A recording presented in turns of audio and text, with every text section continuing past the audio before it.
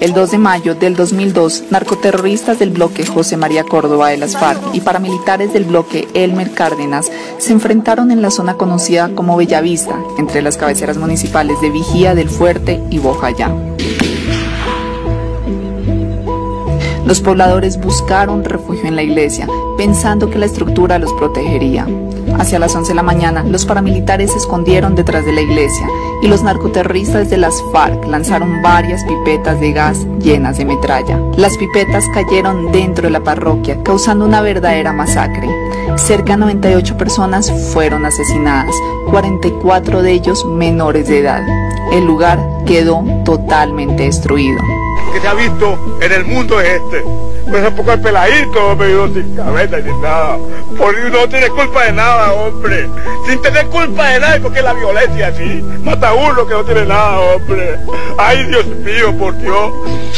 Este zapatico muestra un niño. Y así como este, fueron asesinados 44 niños. Y el resto fueron las mamás que estaban aquí con los niños refugiados aquí en la iglesia.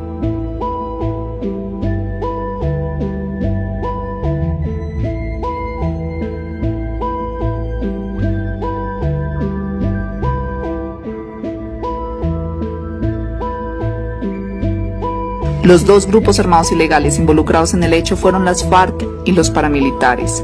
Un acuerdo de paz se realizó con los paramilitares sin darles derecho político y en donde muchos terminaron extraditados y pagando largas condenas en el exterior. El otro responsable, las FARC, quien fue premiado con curules en el Senado e impunidad de estos crímenes. Al día de hoy aún no pagan por esta masacre que asesinó a 98 personas inocentes. Uno de los responsables de esta masacre, Bencos Biojó, quien actualmente es senador del Partido Comunes, antiguo FARC, nunca pagó por este crimen.